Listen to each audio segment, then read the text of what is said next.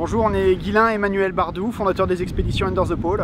On est en Polynésie française et on va vous raconter le programme Capsule.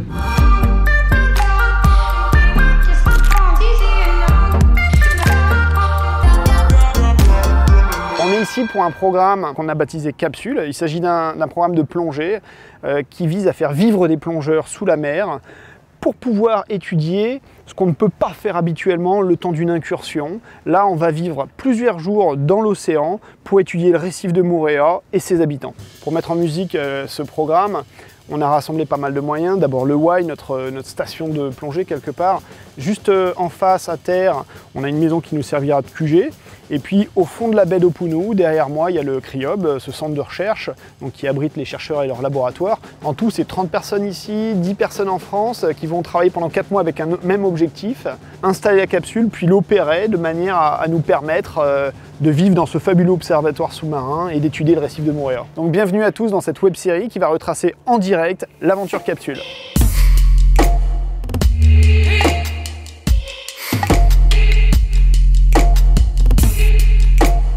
Le point de départ de cette aventure, c'est Concarneau en Bretagne, c'est euh, notre camp de base euh, à Under the Pole. C'est là qu'on a eu cette idée et pour concevoir la capsule, on est parti de zéro. Il a fallu s'entourer d'ingénieurs euh, internationaux. Et on reviendra sur cette genèse au fur et à mesure des épisodes du web documentaire. Ce qu'il faut retenir maintenant, c'est que la capsule, elle est partie en container, elle est arrivée, elle est là à Moorea, en baie d'Oponu.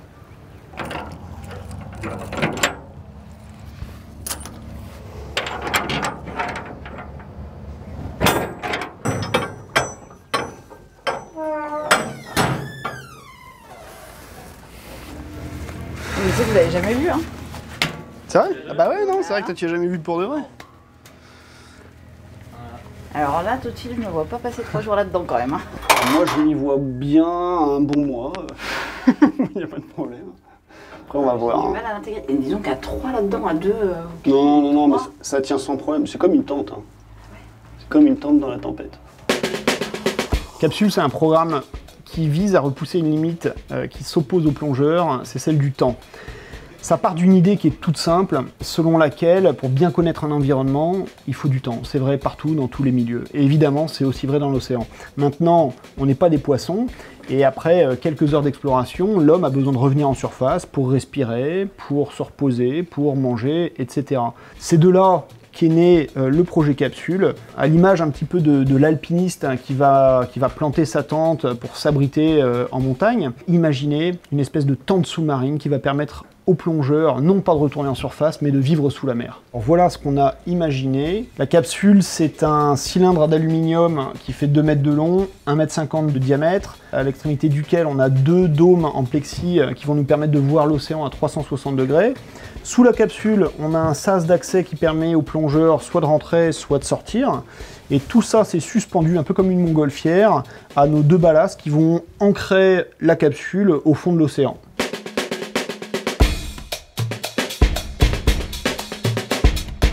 On les met à l'eau, on les amène au Y, demain on les pose sur le sable, on les remonte et ensuite on les emmène sur, euh, sur le site de plongée retenu.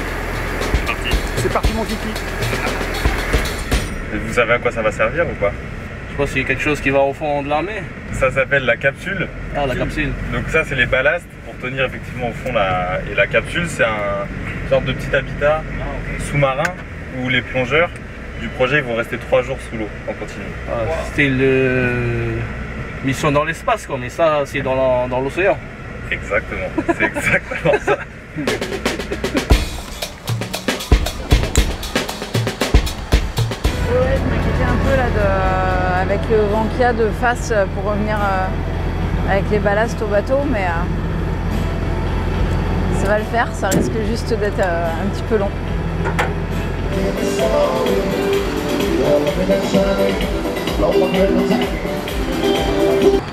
Que l'ambiance sonore correspond bien à l'intensité du moment. Grave, c'est tout à fait polynésien. Tu pourrais pas mettre à l'eau euh, les ballasts de la capsule sur cette ambiance-là, quoi.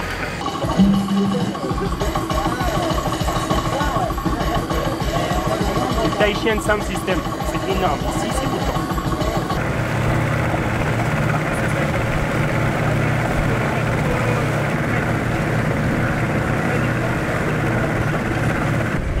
Réussir à garder l'attention et dans l'axe. Mais en fait, il fait des zigzags, donc il nous rappelle en permanence. C'est pas évident. Et comme il pèse quand même 3 tonnes, je crois, bah, il y a pas mal d'inertie. Les ballasts ont été remorqués jusqu'au Y qui est euh, juste ici. Ils sont prêts à faire le premier test d'immersion euh, demain si tout se passe bien. Mais euh, en attendant, vous vous demandez peut-être pourquoi on veut vivre sous la mer, pourquoi plusieurs jours dans un habitat sous-marin et que tout l'inconfort que ça peut comporter. Pour vous répondre, je vous propose qu'on ait rencontré Laetitia Edouin, qui est chercheuse au CNRS et qui travaille donc au CRIOB à Montréal avec lequel Under the Pole est partenaire. Alors je pense que c'est assez intéressant parce que c'est vrai qu'on est toujours limité dans le temps quand on va faire euh, des observations. Et il y a quand même des phénomènes euh, naturels, biologiques sur les organismes qu'on n'arrive pas forcément à observer parce qu'on n'est pas là au bon moment.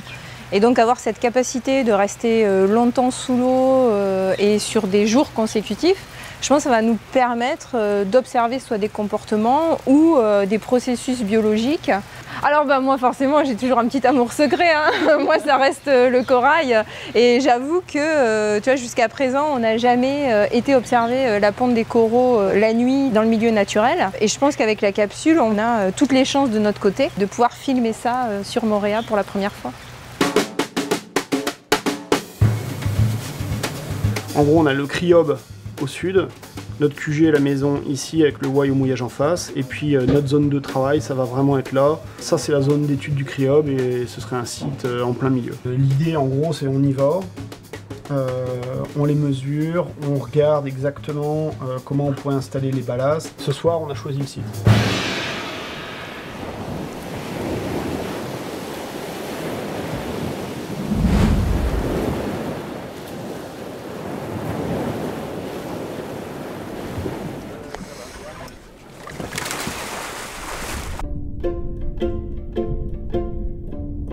Récif de Mouréa, c'est parmi les plus belles plongées que j'ai eu l'occasion de faire en Polynésie. Il est riche, il est divers, on croise beaucoup d'espèces, il y a beaucoup de tortues, de requins, et puis des baleines en saison bien sûr. Alors on cherche euh, un site euh, à peu près à 20 mètres de fond, euh, du sable pour recevoir les deux ballasts au-dessus desquels on suspendra la capsule. Et ici on en mesure un qui fait à peu près 3 par 6. Il est bien orienté et je pense que ça pourrait faire un, très bon site pour recevoir la capsule. Ouais, nickel bah écoute, je pense qu'on est tous plutôt tombés d'accord là sur le, sur le site qu'on trouvait sympa. Ouais par rapport à l'ambiance, au décor, euh, à la place dont on dispose pour mettre les ballasts. Donc euh, non, c'est cool. Euh, je pense qu'on a, je pense qu'on a un chouette site. Ça, c'est un salto de chef. Hein. C'est-à-dire que même s'il est foiré, tout le monde applaudit.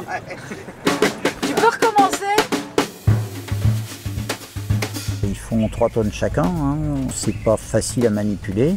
Sur le vrai site, il ne faudra pas se rater parce qu'il ne s'agit pas d'envoyer les ballasts au fond s'écraser sur le corail. C'est une synchronisation, il y a 5-6 personnes qui doivent faire les bonnes choses au bon moment, dans le bon ordre, euh, sans pouvoir se parler dans l'eau. Ça marche pas bon courage Ouais, on va bien s'amuser. Voilà, vous positionnez où on va dropper le ballast. C'est bon C'est bon. Allez, vas-y, il a fait une pirouette. La première chose à faire, c'est d'amener le ballast proche de notre cible. Notre cible, c'est un fond de sable qu'on a choisi de manière à pouvoir s'entraîner librement sans risquer d'abîmer le fond. D'abord, on ouvre les vannes. Petit à petit, euh, on voit que le ballast s'enfonce. Et puis, à un moment donné, tout d'un coup, euh, il bascule. Il bascule, il s'incline, il commence à descendre assez fortement. On part avec lui. Là, on ferme les vannes. Mais bon, la, descente, elle est difficile. Hein. Malgré tout, on arrive au fond, on pose le ballast, on débrief, on décide de revoir euh, le système de rappel, euh, de l'améliorer, et puis on repart pour un, deuxième essai. On y va petit à petit, on chasse l'air, on fait rentrer l'eau. On arrive à ce point de neutralité, le, ballast s'équilibre pratiquement entre deux eaux suspendues à, à ses flotteurs. Je remets un peu d'eau. Et Sylvain maîtrise parfaitement la descente et c'est ça qui nous permet euh, d'arriver progressivement au fond et le ballast se retrouve en douceur exactement euh, comme on le souhaitait.